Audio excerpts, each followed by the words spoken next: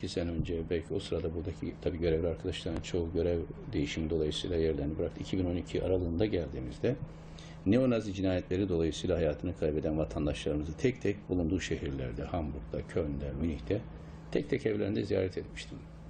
O zaman beni en fazla üzen hususlardan birisi diğer vatandaşlarımızın onlara yönelik asılsız ithamlar söz konusu olduğunda işte uyuşturucuydu, mafyaydı vesaire gibi dönerci cinayetleri diye anılan diğer vatandaşlarımız da aynı şüpheyle yaklaşıp onları yalnız bırakmaları ama onun kadar da üzücü olan bazı yerlerde başkonsolosluğumuzun olayından çok sonra haberdar olması ya da olayın takibi esnasında gerekli ilgi göstermemesi. O zaman söyledim. Şimdi de buradan sizin eee şahsınızda bütün dış temsilcilerimize talimat olarak söylüyorum.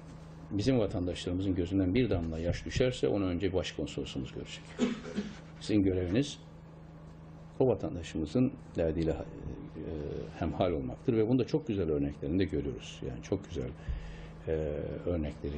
Vatandaşla çok iyi e, ilişki kurmuş başkonsoloslarımız, büyükelçilerimizi görüyoruz. Gururla ifade ediyorum. Allah bir daha göstermesin ama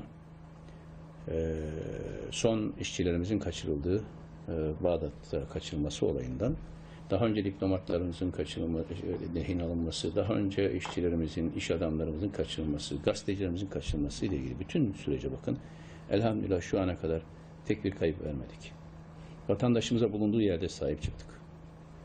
Somali'de bir insani yardım şeyinde çalışan, TİKA'da çalışan bir vatandaşımızı bulun, yaralandığı yerden helikopterle alıp Ankara'da en iyi şartlarda hastaneye getirecek teknik imkanlarımız var. Dolayısıyla vatandaşlarımızın bu ihtiyaçları söz konusu olduğunda hepimizin onların yanında olması. Neredelerse orada. Köln'e gittiğimde hem mescit e, camileri, cemevlerini, kiliseleri ziyaret ettim o zaman. Hepsini, her vatandaşın bulunduğu yerde ziyaret ettim. Devlet, ol devlettir ki vatandaşı söz konusu olduğunda onun etnik, mezhebi, dini kökenine bakmaz, ideolojisi nedir diye bakmaz. O vatandaşın sadece ve sadece vatandaş olma kimliğiyle değerlendirir. Vatandaşların dertleriyle dertlenmekle memursunuz.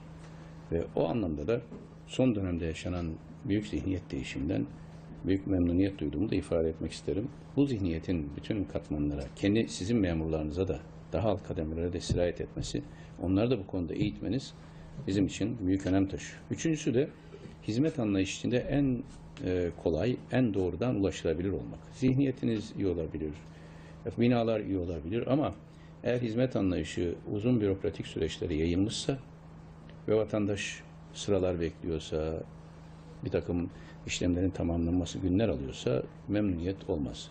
Yani gönül ile profesyonelliği birleştirmek lazım. Şu anda teknik imkanlarımız mükemmel. E-vizeden efendim şeye kadar e, her türlü imkan hukuki e, hukuk müşavirliklerine kadar çok farklı alanlarda size destek olacak unsurlar, teknolojik ve insan donanımı sağlandı. Şimdi yapılması gereken bu hizmetlerin en iyi şekilde vatandaşımıza ulaştırılmasını sağlayacak profesyonelliği göstermek. Tabii bu çerçevede e, bu ziyaretimize de vesile teşkil eden ve hepimizin hepinizin gerekli tedbirleri almasını arzu ettiğimiz bir başka husus da seçimlere katılım. Bu tür konularda bir irade önemlidir. İrade ortaya konduğu hep talep edilen bir şeydi. Bu gerçekleşti. İkincisi yasal düzenleme. O da yapıldı. Üçüncüsü uygulamada en pratik yöntemlerle bu yasanın gereğinin yapılması. Geçen sene Cumhurbaşkanı seçimlerinde sadece yüzde 19 katılımın olması bizi üzmüştü. Ya vatandaşlarımız istediği kadar yani ya- vatandaşlarımızın katılım iradesi zayıftı ya da katılma istedikleri, katılım yapmak istedikleri halde imkan bulamadılar veya şartlar uygun olmadı. O açıdan bakıldığında şimdi genel seçimler, 7 Haziran seçimleri %39'a çıkmış olması aslında vatandaşlarımızın bir iradesinin olduğunu, uygun şartlar oluştuğunda bunun kullanılabildiğini gösteriyor. Sizlerden e, isteğimiz, talebimiz bu seçimlerde Türkiye ortalamasına yakın bir katılımın sağlanabilmesi için her türlü imkanı seferber etmeniz. Vatandaşlar kime oy verirse versinler başımızın tacıdır. Hangi siyasi görüşe sahip olurlarsa olsunlar iradeleri ne saygı göstermek bizim için demokrasinin esasıdır. Sizlerin görevi, bizlerin görevi vatandaşlarımızın bu iradelerini yansıtabilecekleri şartları oluşturmak. O konuda e, başkonsolosluklarımızda, büyükelçiliklerimizde çalışan bütün arkadaşların geceyi gündüze katmak gerekirse bunu yapmaları ve vaktinde en fazla katılımını sağlayacak imkanların oluşmasını temin etmeleri en önemli husus.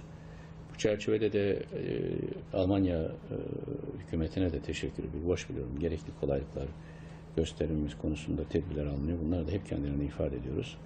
E, özellikle önümüzdeki seçimlere de de güvenlik içinde vatandaşlarımızın oy vermelerini teminen Büyükelçilik olarak başkonsolosluk ne yapılması gerekiyorsa yapın.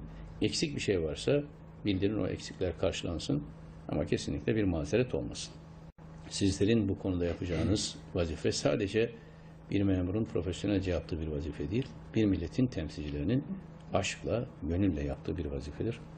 Allah bu konularda sizlere e, kolaylık versin.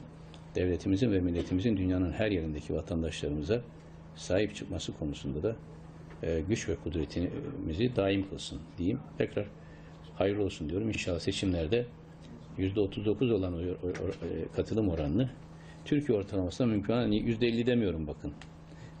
O yetmez. Türkiye ortalamasına yakın bir hale getirin.